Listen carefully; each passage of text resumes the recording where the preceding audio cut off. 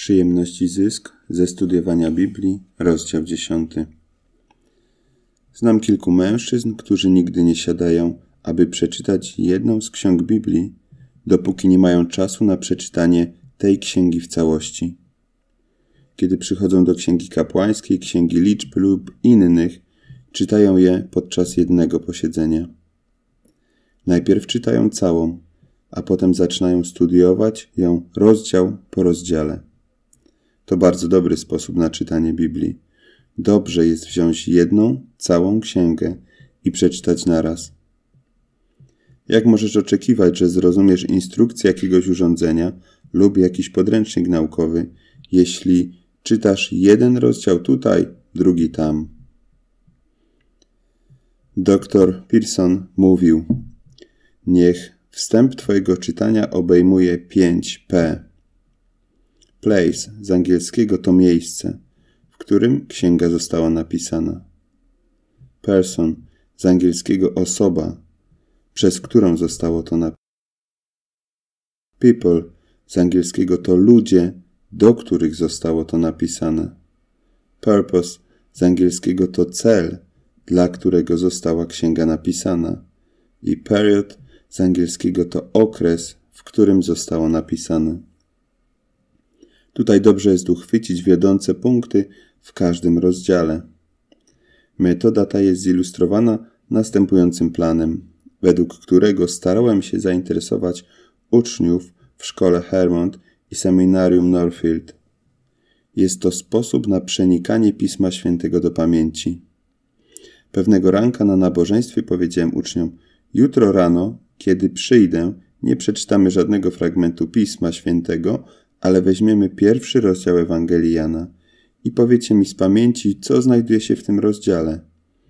I każdy nauczy się jednego wersetu, który jest dla niego najcenniejszy.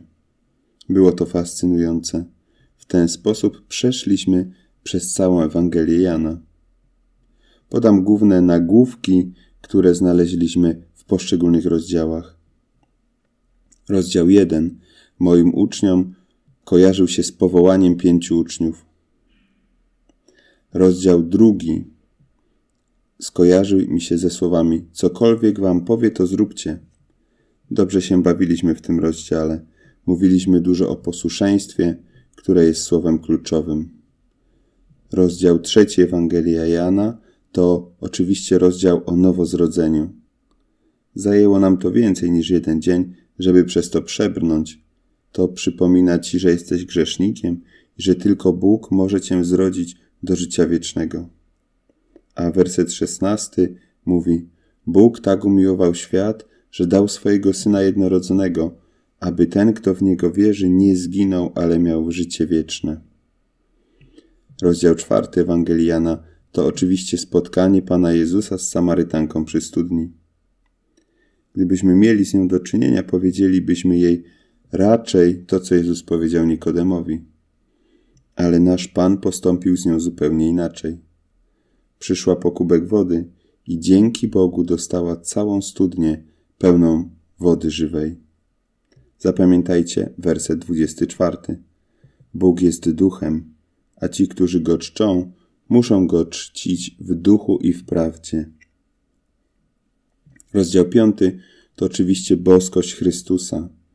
Werset 24 mówi: Zaprawdę, zaprawdę powiadam wam, ten, który słucha mego słowa i wierzy w tego, który mnie posłał, ma życie wieczne i nie przyjdzie na potępienie, lecz jest przemieniony ze śmierci do życia. Rozdział szósty nazwaliśmy rozdziałem chleba. Jeśli chcesz dobry bochenek chleba, wejdź do szóstego rozdziału. Pożywiaj się tym chlebem i będziesz żył wiecznie. Kluczowy werset: Chrystus jest chlebem życia. Ja jestem chlebem żywym, który stąpił z nieba. Jeśli ktoś z tego chleba spożywa, będzie żył na wieki. A chleb, który ja dam, jest ciałem, który daje za życie świata. Oczywiście chodzi tu o pokarm duchowy. Rozdział siódmy to rozdział dotyczący wody.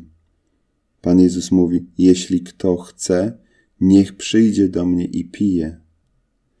Mamy tu żywą wodę i zaproszenie Chrystusa do każdej spragnionej duszy, by przyszła do Niego pić.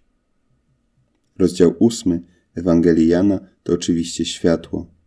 Pan Jezus mówi: Ja jestem światłem tego świata.